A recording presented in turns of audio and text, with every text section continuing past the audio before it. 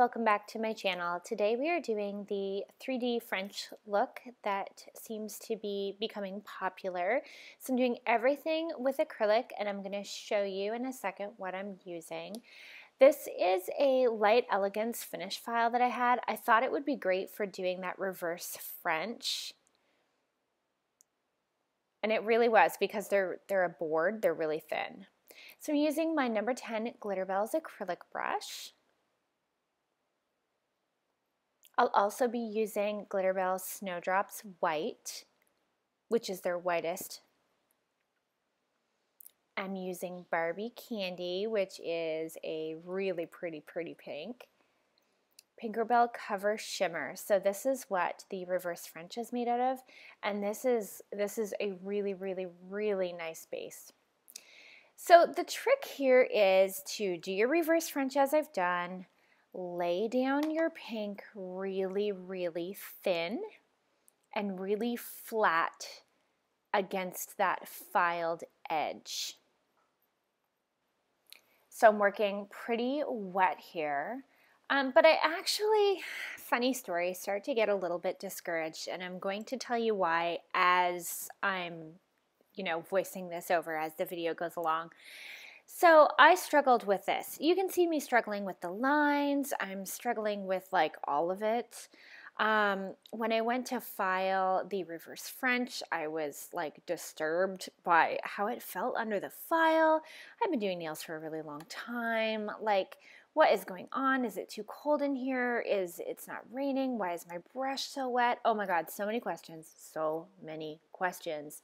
So, two hours later, and a huge struggle, I discover that I'm using odorless monomer that I've never purchased. So, somewhere along the way through my orders, I have gotten some Ugly Duckling odorless monomer and I do not enjoy it. So, here is a really good angle at like how thin the pink is versus my edge. So it just barely needs to lay down. I'm coming in with my glass slippers, which is the Glitterbels Clear. I didn't show you that in the beginning, sorry.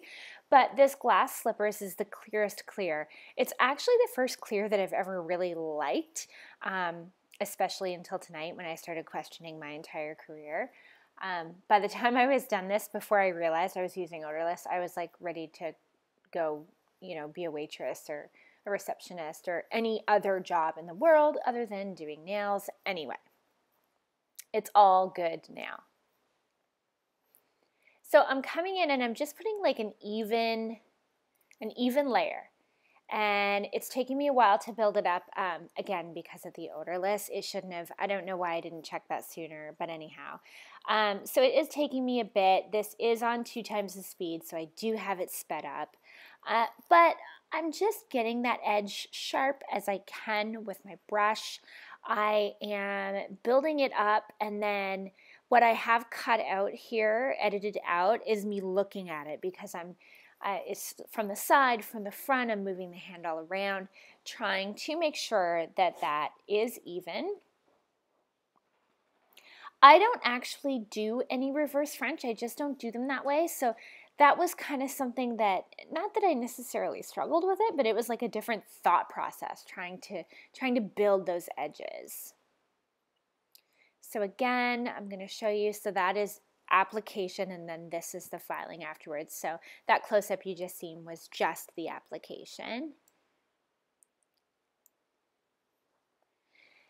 If you want to buy any of these colors or the Glitterbels stuff that you're seeing here, you can buy it at the Nail Throne. And if you use my code Liquid Chrome, you can get 10% off.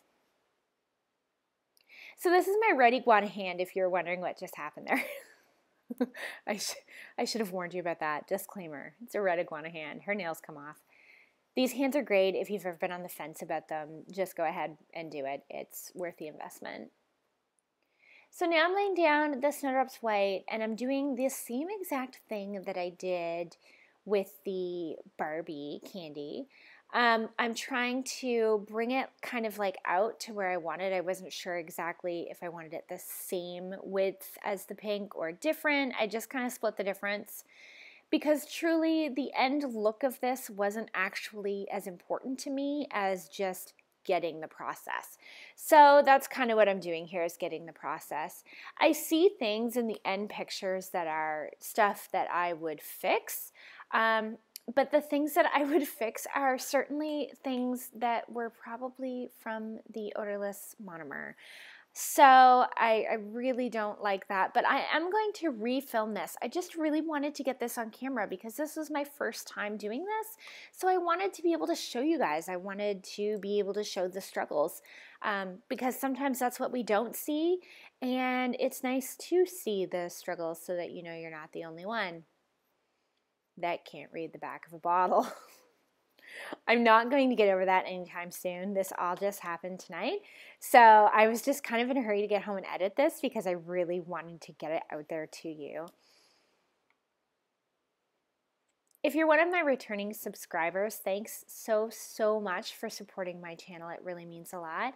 If you're new here for the first time, please subscribe and don't forget to hit the bell because I am trying to upload a lot more, but it's not always on the same consecutive day just yet. So if you hit the bell, you'll be notified. So I've done the white super thin, same idea, and then I'm coming back in with my clear and I'm doing like the same thing. I'm making sure it's built up, making sure it's even clear through, wiping it, wiping it, wiping it while it dries. Trying to make sure that you have like the sharpest edge possible pre-filing. Like you can fix it with a file, but you don't always want to do that.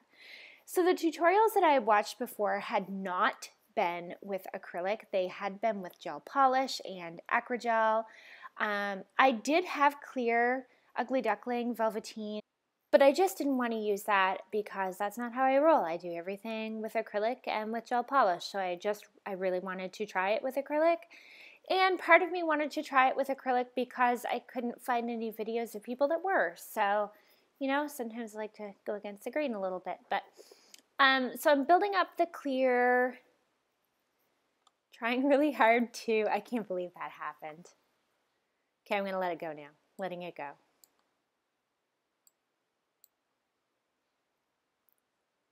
And then once that dries, I'm going to file it again. Um, as I did with the first one, I'm going to make those edges really, really, really nice and sharp. Because that's kind of what you need for that shadow. You can start to see the shadow between the pink and the white. I was getting really excited at this point that it was working. And like I said, there were a few discrepancies here, and I'm very well aware of them, but I do think that this is just, this is the idea. This is what I'm going for. This is definitely going to work. It's going to take some practice. I don't think this is something that you just kind of do the first time. Not for me, anyhow. So I'm basically repeating the same steps over and over. You can see that I'm coming in and filing the the, the shelf, the line,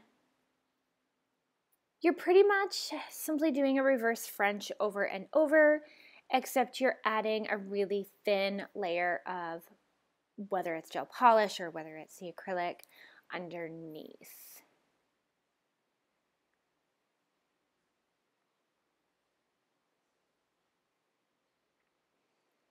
So I have a couple photos at the end of the finished product.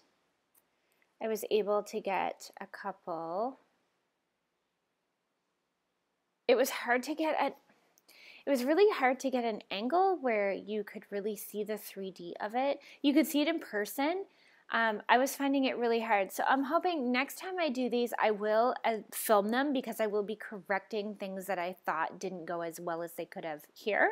Um, but I'm going to try to get the proper angle to take a picture. I found it difficult.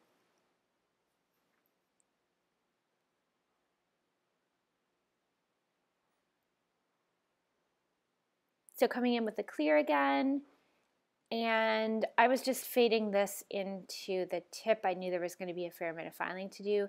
I wanted it to hit the white shelf in front of it, but I wanted it to be thin enough at the base for obviously the tip. I do show you some of my finished filing. I don't show you the whole thing just because it is just plain finished filing. I did do some with the drill first with my e-file and my Atwood Industries bit. And I can't think right off what the name of the bit was, but it was for finish filing.